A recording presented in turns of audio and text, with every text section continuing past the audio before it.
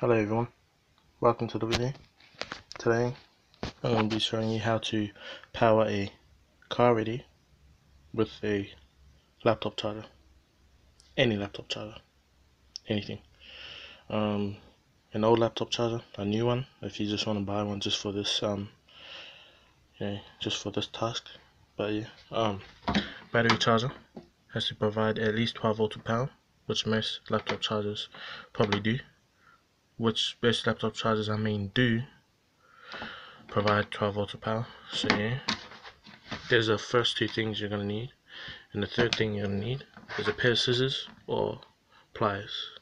I suggest a pair of pliers but um I use a pair of scissors for this one because I didn't have pliers and um, yeah so yeah works the same but yeah whatever. Um the fourth thing you're gonna need is duct tape or electrical tape which is what I don't have. But that doesn't really matter because I'm not going to be taping anything up. I'm just going to show you how I wire it up. But yeah let's get into it. First thing you're going to need is to snip off this end bit right here the bit that goes into the computer. You know snip that off. I'm not going to want that anymore. And then you're going to get two wires right here. Just wait for that to focus. If it will focus No, it won't. So yeah, whatever. You can still see them. So you're gonna have one wire, which is negative, and one wire, one wire that's positive. So there we go. I got a negative. I got a positive. The way to find out which one's negative and which one's positive is on this block right here.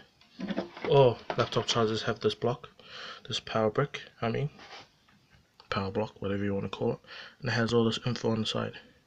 If yours doesn't have it, that means your laptop charger is really, really old, or someone's ripped it off. Or, I don't know, whatever other situation would be. So, once it focuses, there it is. You're going to see this symbol right here. As you can see, there's an inner circle with an arrow pointing to the plus sign, which means that it's positive.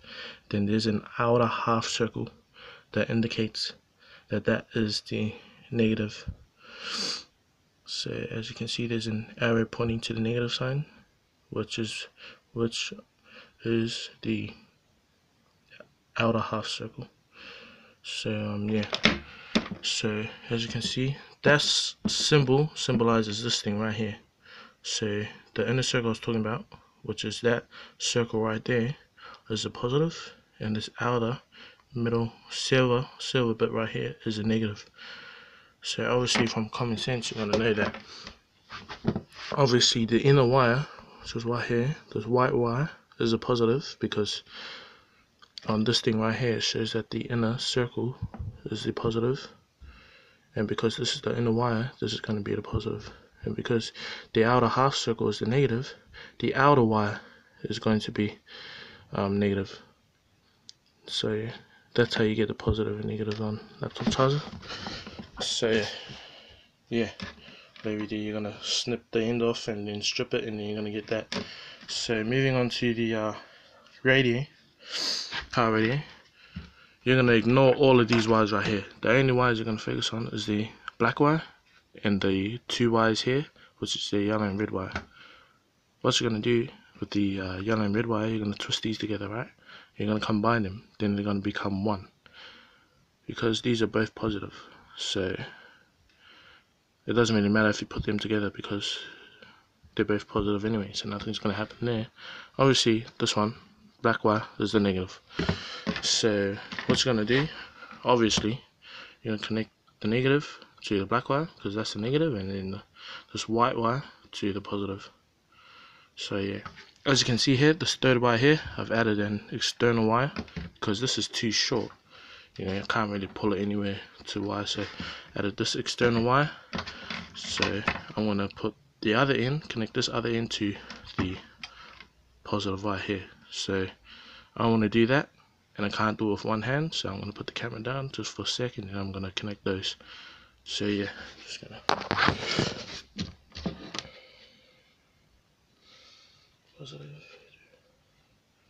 positive negative 2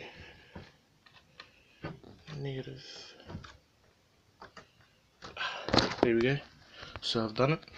So I've connected the external wire which is connected to the two positive wires on the radio to the positive wire from the laptop charger.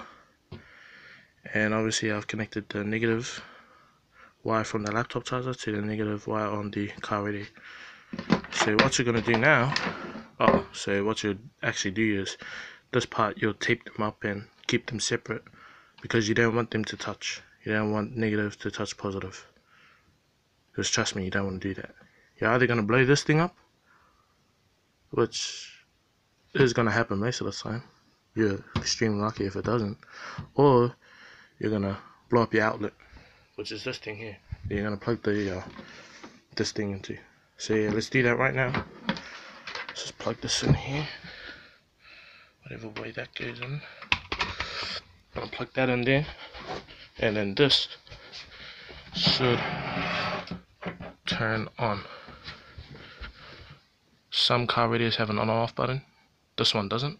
So I'm just gonna open it show you that it's on. Obviously you can see the lights there. And um, yeah hold on. Maybe this does have an on button. I can't see the on button. Oh there it is so obviously you can see that that has turned on. And um, yeah you'll put like CDs in it. Because this is a CD player you know whatever. Since that's on and uh, yeah. Whatever. And um, that's all for today. Thanks for watching and um, give it a like if you liked it. If you didn't like it give it a dislike or don't like it at all. But yeah whatever. Up to you subscribe if you want to. And um, yeah see you in the next video. Thanks